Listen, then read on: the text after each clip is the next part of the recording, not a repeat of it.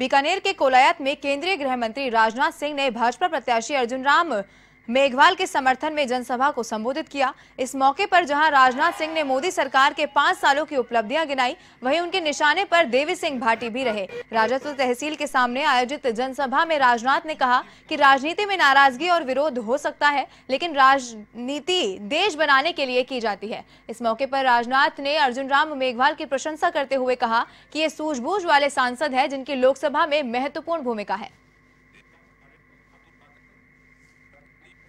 मतों से